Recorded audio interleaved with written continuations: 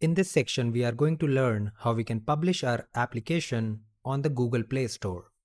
In this lesson, we'll start by preparing the application assets that we'll need to configure the icon and splash screen of our application when the application is run on actual devices. So we'll start by creating the graphic assets for icon and splash screen for our application that we will need when our application runs on actual devices. Once we have the graphics in place, we'll use these graphics or images to generate application assets for both Android and iOS platforms. We'll use the Ionic CLI to create these application assets. So here we are inside the folder Final Project and it contains a folder called To Do App which contains our Ionic project. I also have another folder called Images which I have just created and inside this folder I have two files icon.png and splash.png. These are the image files that I have created manually to specify how I want the icon of my application and the splash screen of my application to look like. Both of these images are square images and the dimensions of the icon.png image is 1024 pixels by 1024 pixels. Similarly, the dimensions of splash.png image is 2732 pixels by 2732 pixels. These are the specifications that Ionic recommends for icon and splash images.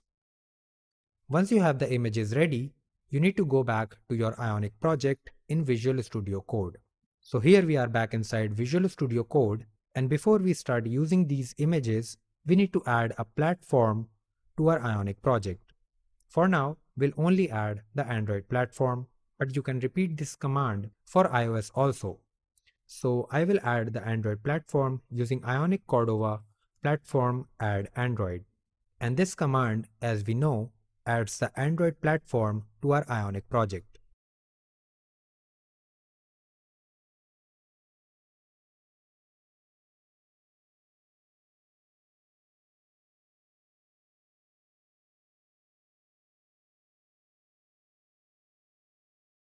So now you can see that the platform Android has been added successfully to our Ionic project. Along with that, you can see that a new folder called resources has been added to our project folder. It contains a few image files and with that, it also contains a folder for Android and iOS.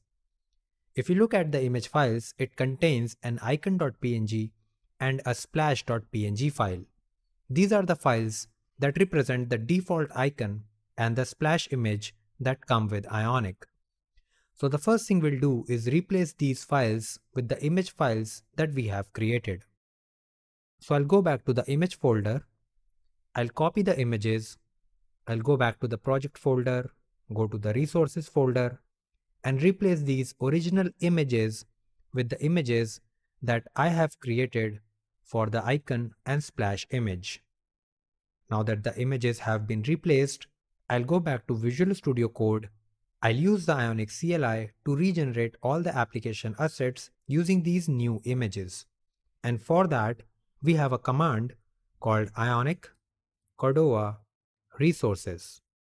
This command will upload these images to Ionic servers and in turn will download all the application assets for both Android and iOS.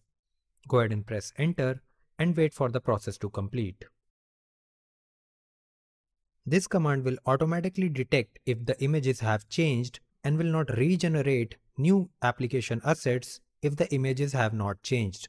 However, you can use the force flag to make sure that new application assets are created when you run this command. For now, the force flag is not required and the process is complete. Just to verify that all the application assets are created successfully, you can go inside the Android folder, go into the icon folder and look at each of these icons. You can see that we have the same icon but in different sizes. And this is how the Ionic Cordova Resources command works. It creates icon and splash images for different devices with different screen sizes and different screen densities.